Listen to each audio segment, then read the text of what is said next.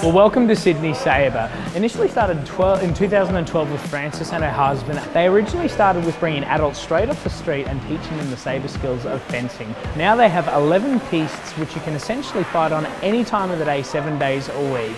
They offer group classes, of course single classes, and they get you fighting on your very first lesson. Jump on board if you've got a bucks party, it's a perfect place for you to come check out. Or guys, come in here and get your next big swing on and get fighting. We'll see you next time. This is Rupert Neri from Big Review TV, signing out.